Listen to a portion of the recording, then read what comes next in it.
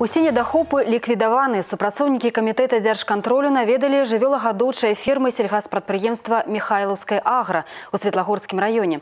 Падчас маніторынгу выявілі шэраг парушэнняў і склалі прадпісанне па іх ліквідацыі. Праз тыдзень прыехалі зноў і праверылі, што ў гэтым накірунку зроблена.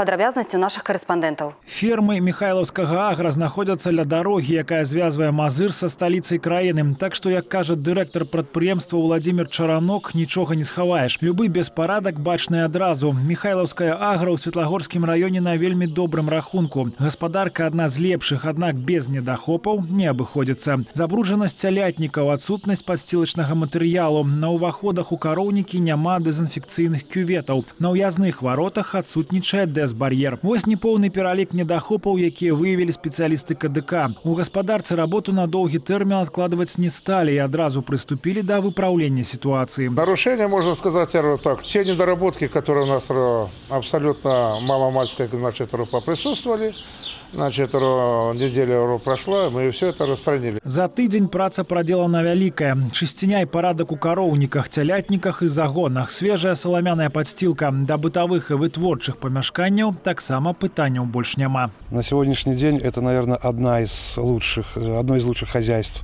э, в Светлогорском районе, но вместе с тем и здесь допускается нарушение.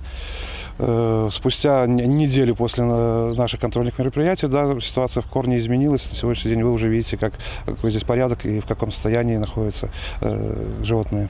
Дарэчы, зараз наводзяць парадак не толькі на Михайлаўскім агра. У Светлагорскім раёне распачалась актыўная работа па добраўпарадкаванні пасля зімы аб'ектаў сельгаспрадпрыемстваў. Субботники проводим уже третью неделю. Завтра снова уезжают около 100 человек. Помогать селу, наводить порядок. Па даручэнні прэзідэнта краіны камітэт дзяржкантролю працягне і надалей праводзіць праверкі на сельгаспрадпрыемствах. Максім Савін, Александр Харлампаў, тэлерадыёкампанія Гомель са Светлагорскага раёна.